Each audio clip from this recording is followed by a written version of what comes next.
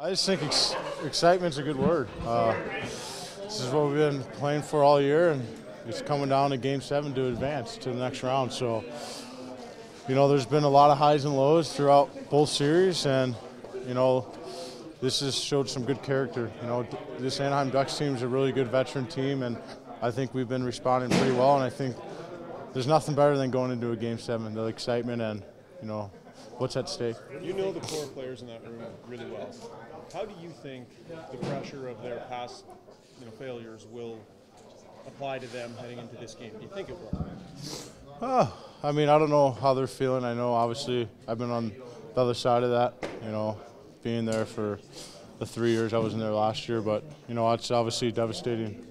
But for us, uh, we can't really focus on, you know, what's at. We just got to focus on what's at stake for us. You know, this is we're going into hostile building, and we got to find ways to do what we did in Game Six and apply that in Game Seven. I think this is a good opportunity for us. You know what gets you would be saying. You know Ryan Getzlaf well. You know what he'll. Get the pass. Well, I think that's. I think that's what a lot of. I'm sure that's what they're going to be saying. Uh, so, but we can't really worry about that. Uh, for me, and the guys in this room, just got to focus on a shift at a time, a period at a time, and and just do it in 10 minute increments. Find ways to just keep doing what we're doing. I mean, this has been a great series. We knew it was going to go the distance, and now it's coming down to one game to move on to the next round.